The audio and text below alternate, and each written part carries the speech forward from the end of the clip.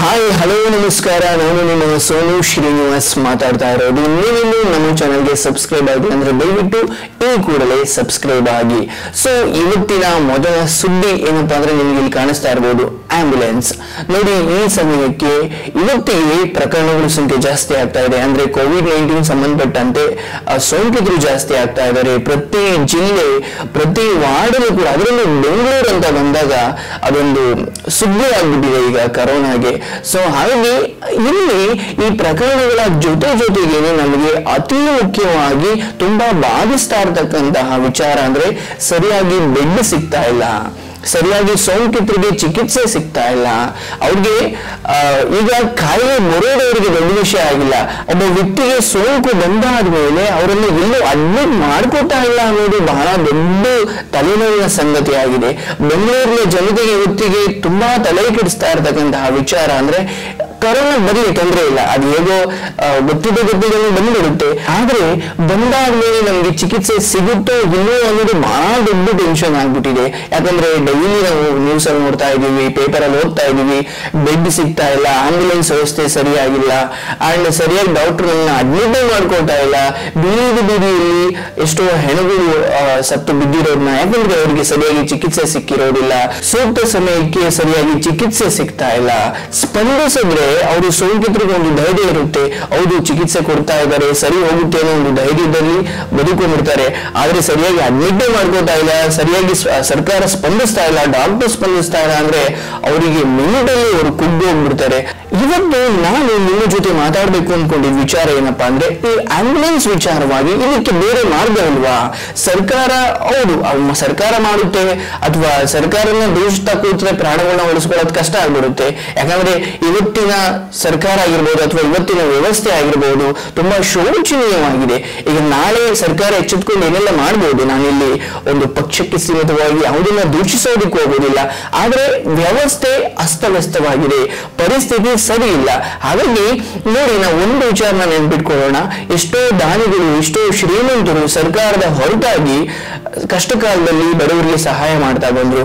ಆದ್ರೆ ಇವತ್ತು ನಾವು ದಾನಿಗಳನ್ನ ಶ್ರೀಮಂತರನ್ನ, ಯಾರ್ಯಾರು ಬಲ್ಲವರು, ಇಲ್ಲವರು, ಅವರನ್ನೆಲ್ಲ ಕೈ ಮುಗಿದು ಕೇಳ್ಕೊಳ್ಳೋದಿಷ್ಟೇ. ದಯವಿಟ್ಟು ನಿಮ್ಮ ಕೈಗೆ ಸಾಧ್ಯವಾದಲ್ಲಿ ಒಂದು ಆಂಬ್ಯುಲೆನ್ಸ್ ವ್ಯವಸ್ಥೆ ಮಾಡಿ, ಖಾಸಗಿ ಆಂಬ್ಯುಲೆನ್ಸ್ ಈಗ ಸರ್ಕಾರನ ನಾವು ದೂಷಿಸ್ತಾ ಕೂರ್ಬೋದು, ಅವರು ಅದಕ್ಕೆ ಸ್ಪಂದಿಸಬಹುದು ಸ್ಪಂದಿಸ್ತಾನೆ ಇರ್ಬೋದು. ಆದ್ರೆ ಪರಿಸ್ಥಿತಿ ಕ್ರಿಟಿಕಲ್ ಆಗಿದೆ, ತುಂಬಾ ಶೋಚನೀಯವಾಗಿದೆ. ದಯವಿಟ್ಟು ನೀವು ಆಹಾರ ಕಿಟ್ಗಳನ್ನ ಕೊಟ್ಟಿದ್ದೀರಾ, ಬಡವರಿಗೆ ಹಣಕಾಸಿನ ಸೌಲಭ್ಯ ಕೊಟ್ಟಿದ್ದೀರಾ?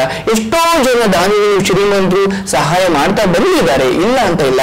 ಸೊ ಈ ಸಮಯದಲ್ಲಿ ಆಂಬ್ಯುಲೆನ್ಸ್ ವ್ಯವಸ್ಥೆ, ಒಂದು ಊರಿಗೆ ಒಂದು ಆಂಬ್ಯುಲೆನ್ಸ್ ಅಥವಾ ನಿಮ್ಮ ತಾಲೂಕಿಗೆ, ನೀವು ಹೆಸರು ಹಾಕ್ಸ್ಕೊಳ್ಳಿ, ನಿಮ್ಮ ಫೋಟೋ ಹಾಕ್ಸ್ಕೊಳ್ಳಿ, ನಿಮ್ಮ ನಂಬರ್ ಹಾಕ್ಬಿಟ್ಬಿಡಿ. ಉಚಿತವಾಗಿ ನೀವು ಈ ಸೇವೆನ ಈ ಸಮಯದಲ್ಲಿ ಮಾಡಿದ್ದೇ ಆದಲ್ಲಿ ನಿಮ್ಮನ್ನ ದೇವ್ರ ತರ ಪೂಜೆ ಮಾಡ್ತಾರೆ. ಯಾಕಂದ್ರೆ ಈಗ ಆಂಬ್ಯುಲೆನ್ಸ್ ಸರ್ಕಾರದಿಂದ ಎರಡು ಮೂರು ಬಿಟ್ಟಿರ್ತಾರೆ. ಆದ್ರೆ ಪ್ರಕರಣಗಳು ಜಾಸ್ತಿ ಆಗ್ತಾ ಇದಾವೆ. ಸೊ ನಿಮ್ಮಂತ ದಾನಿಗಳಿಂದ ಶ್ರೀಮಂತರಿಂದ ಈ ರೀತಿಯ ಕೆಲಸ ಖಾಸಗಿ ಆಂಬ್ಯುಲೆನ್ಸ್ ನೀವು ವ್ಯವಸ್ಥೆ ಮಾಡಿ ಉಚಿತವಾಗಿ ಸೇವೆ ಕೊಟ್ಟಿದ್ದೆ ಆದಲ್ಲಿ ನೀವು ನಿಜವಾಗ್ಲೂ ಬೇರಾಗಿ ನಿಂತೀರ? ನೀವು ಮಾಡಬೇಕು, ಮಾಡಲೇಬೇಕು ಅಂತ ಏನಿಲ್ಲ. ಯಾಕಂದ್ರೆ ನೀವು ಸರ್ಕಾರ ಅಲ್ಲ. ಆದ್ರೆ ನಿಮ್ಮ ಒಳ್ಳೆಯತನ ನೀವು ದಾಳಿಗಳು ಅಂತ ಅನ್ಸ್ಕೊಂಡಿರೋರು ಈ ಸಮಯದಲ್ಲಿ ಈ ಆಂಬ್ಯುಲೆನ್ಸ್ ವಿಚಾರವಾಗಿರ್ಬೋದು ಅಥವಾ ಇತರ ವೈದ್ಯಕೀಯ ಸೌಲಭ್ಯಗಳಿಗೆ ಸಂಬಂಧಪಟ್ಟಂತೆ ನೀವು ಖಾಸಗಿಯಾಗಿ ನೀವು ಆಂಬ್ಯುಲೆನ್ಸ್ ಸೇವೆ ಒದಗಿಸೋದಿರ್ಬೋದು ಅಥವಾ ಇತರ ವೈದ್ಯಕೀಯ ಸೌಲಭ್ಯಗಳನ್ನ ಒದಗಿಸೋದಿರ್ಬೋದು. ಇವತ್ತು ಆರೋಗ್ಯವೇ ಭಾಗ್ಯ. ಜೀವ ಉಳಿಸ್ಕೊಂಡ್ರೆ ನಾನು ಏನ್ ಬೇಕಾದ್ರೂ ಮಾಡ್ತೀನಿ. ಮುಂದೆ ಬದುಕಿದ್ರೆ ಸಾಕು. ಜೀವ ಇದ್ರೆ ಜೀವನ ಅನ್ನೋ ಪರಿಸ್ಥಿತಿ ಬಂದು ನಿಂತಿದ್ದಾರೆ. ಸೊ ಹಾಗಾಗಿ ದಾನಿಗಳು ಶ್ರೀಮಂತರು, ಯಾರ್ಯಾರು ಧನಿಕರಿದ್ದೀರಾ, ಯಾರ್ಯಾರು ಒಳ್ಳೆಯವರಿದ್ದೀರಾ ಭಗವಂತ ನಿಮ್ಗೆಲ್ಲವೂ ಕೊಟ್ಟಿದ್ದಾನೆ ಅಂದಮೇಲೆ ಸ್ವಲ್ಪ ನಾನು ಕೊಡ್ಲೇಬೇಕು ಅಂತ ಹೇಳಕ್ ಯಾರ ಕೈಯೂ ಯಾವ ಅರ್ಹತೆಯೂ ಯಾರಿಗೂ ಇಲ್ಲ. ಯಾಕಂದ್ರೆ ನೀವು ಕಷ್ಟಪಟ್ಟಿರ್ತೀರಾ. ಆದ್ರೆ ಈ ಸಮಯದಲ್ಲಿ ಒಂದು ಆಂಬ್ಯುಲೆನ್ಸ್ ಒಂದು ವಾರ್ಡ್ಗೆ ಒಂದು ಆಂಬ್ಯುಲೆನ್ಸ್ ಇರಬಹುದು ಅಥವಾ ನಿಮ್ಮ ಖಾಸಗಿಯಾಗಿ ನೀವೊಂದು ಫೋಟೋ ನಿಮ್ದು ಫೋಟೋ ಹಾಕೊಳ್ಳಿ, ನಿಮ್ಮ ತಾಯಿ ಫೋಟೋ ಹಾಕೊಳ್ಳಿ, ನಿಮ್ಮ ಮನೆದೇವ್ರ ಫೋಟೋ ಹಾಕೊಳ್ಳಿ. ಸೊ ಇಂಥದ್ದು ಒಂದು ನಂಬರ್ ಫಿಕ್ಸ್ ಮಾಡಿಬಿಡಿ. ಆ ನಂಬರ್ಗೆ ಫೋನ್ ಮಾಡಿದ್ರೆ ನಿಮ್ಗೆ ಉಚಿತವಾಗಿ ಆಂಬ್ಯುಲೆನ್ಸ್ ಸೇವೆ ಸಿಗುತ್ತೆ ಅಂತ ಬಿಡಿ. ಸೊ ಈ ರೀತಿ ಸೇವೆ ಈ ಕ್ಷಣದಲ್ಲಿ, ಈ ಪರಿಸ್ಥಿತಿಯಲ್ಲಿ ಅವಶ್ಯಕತೆ ಇದೆ ಅಂತ ನನಗನ್ಸುತ್ತೆ.